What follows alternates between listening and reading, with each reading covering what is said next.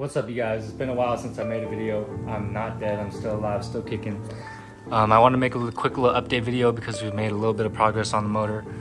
Um, first things first, we had a uh, viewer tell us on one of our videos, they commented saying that I should not be using the ARP flywheel bolts because the ones that ARP sells are actually too long so they bottom out on the crank when you screw them in and won't give you accurate torque reading.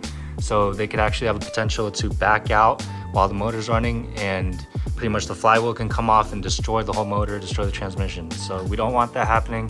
Uh, we're going to double check. We're going to take them out and compare them to the OEM flywheel bolt length and see if that's actually true or not, see if they're actually longer.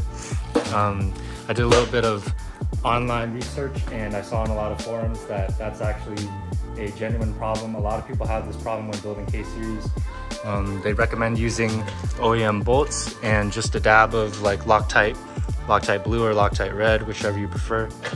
And that should solve the problem. So we took the pressure plate off already. We're gonna throw away all these old uh, ARP bolts that are used and stretched. And we are going to use all OEM stuff with a little bit of Loctite. So some other things that we've done to the motor are we've switched out the JDM water pump housing uh, for a USDM unit. Here's the old JDM one. Now, the reason we did this is because the mountings for the alternator and the tensioner and all that, they're all different compared to the USDM one. The shape is entirely different. So if the alternator ever went bad, you would have to find a JDM alternator in order to fit it onto the JDM water pump housing. And that would be pain in the ass. So since USDM stuff is more readily available, uh, we went ahead and swapped out to a USDM water pump housing. That way we can use all the USDM accessories. Um, we also put a fluid damper on because we had this laying around and figured it would improve the motor's acceleration and smoothness. Uh, what else have we got? We put the upper coolant housing on. We're just using the OEM one because that's what we had laying around the JDM uh, thermostat housing did not fit, so I ordered this PLM uh, swivel neck housing. This is a really nice unit. It replaces the plastic uh, thermostat housing and also comes with the thermostat as well. My friend JJ hooked me up on that. Um, we also got ourselves a PLM K-swap radiator and with our SPAL fan. This is some really nice stuff. It's all made in Taiwan, no China stuff. So I haven't even opened this yet. Should probably take a look, but yeah, JJ hooked me up on all this stuff and I still have a discount code, so I'll probably be ordering a lot more PLM stuff for the swap. They've got everything you need. Now, without wasting any more time, let's get to it with installing the OEM pressure plate uh, bolts and the flywheel bolts.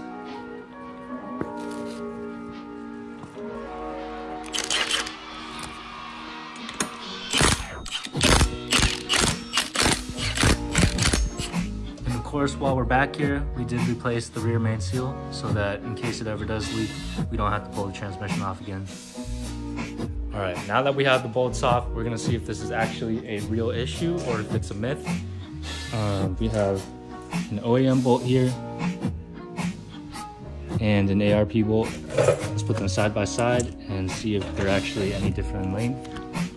OEM bolts on the right, ARP bolt on the left. They are exactly the same length.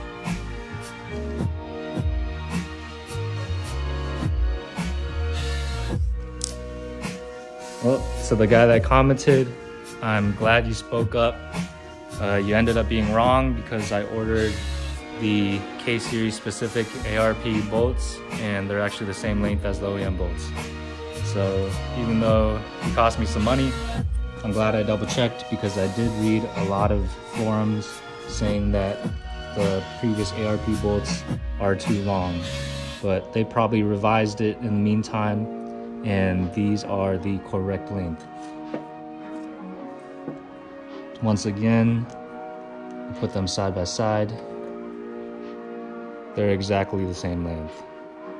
So kind of disappointing but people have had it happen to them, maybe with the older ARP bolts, but the ones that I had were correct. So it was good thing I checked. I'm glad I did check or else it'd be bothering me for the rest of my life. And now we have some fresh OEM bolts to put in instead. And as they say, OEM is always better.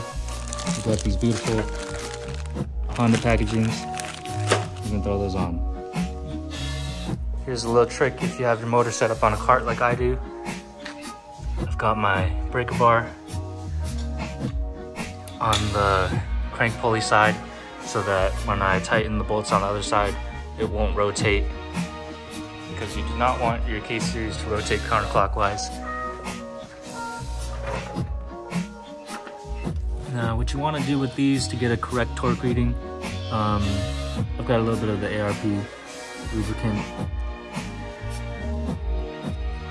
but what I do is I just put a tiny bit on the head of the bolt underneath the lip here.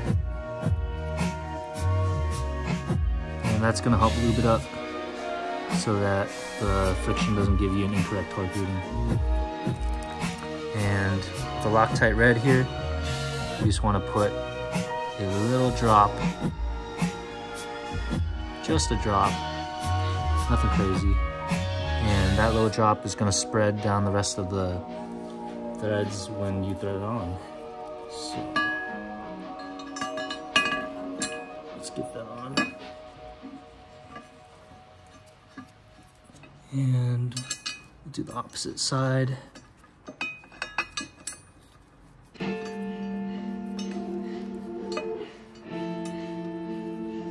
So all of our bolts are in. Make sure you torque these in a star pattern. It's gonna be uh, increments of 30, 60, and 90, or I think OEM torque spec is actually 80 something, but I like to tighten them to 90 just in case. Make sure you thread them in and torque them before uh, your 20 minutes is up. I think the Loctite uh, dries up in about 20 minutes, so. Also make sure you're not touching the clutch disc with your fingers, flywheel, or the pressure plate surface because you can introduce oil and that will cause it to not grab correctly. Now the part that's sticking out more is gonna be facing towards you. So I'm gonna set that up. Let me get the tool through here. I'm gonna stick the tool through the clutch disc. Wiggle it on in there. Flush get our pressure plate. And the pressure plate only goes on one way according to the studs here. So you kind of gotta spin around until you find the correct orientation. Right, we got the freaking pressure plate on. I had to spin it around a few times to find the right orientation. Don't worry about the it's sitting flush with the pins. Sometimes it's a little tight to get on, so you just have to torque it down for it to slide all the way on. And with these bolts, um, I'm gonna set it to 20 foot-pounds. I'm gonna use a little bit of uh, blue Loctite. I don't think it's as crucial for these ones. All right, so we got all the pressure plate bolts torqued down. Can take this out now since the pressure plate is clamping on the clutch disc. Ooh, stuck in there. There we go. So now that's ready for the transmission to bolt onto. And speaking of transmissions, we have our K20Z3 transmission. I have a buddy Jason who's helping me out with the swap. He's a lot more knowledgeable than I am. Um, he actually sold us this RSX Type S shift mechanism and he drilled or threaded new um, threads into the case for us so that we can run it. I think two of the bolts uh, go in normally, but you have to thread the third hole in order to run the RSX Type S uh, shift mechanism. I don't think we'll be using that OEM one. We've got a billet shifter that we'll be using, but we got the shift plate over there.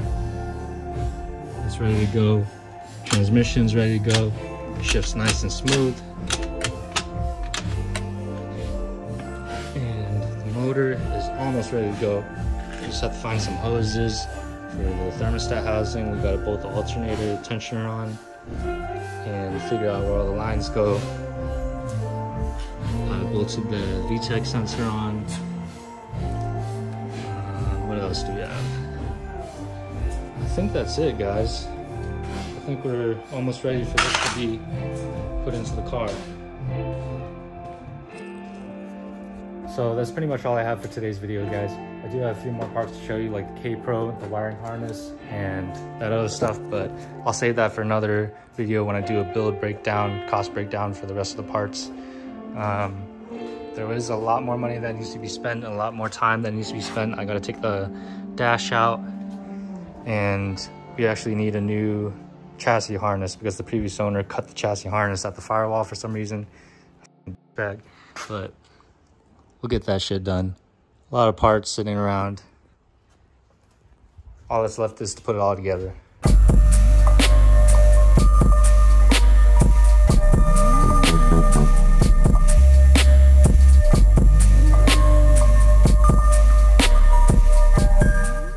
Goodbye.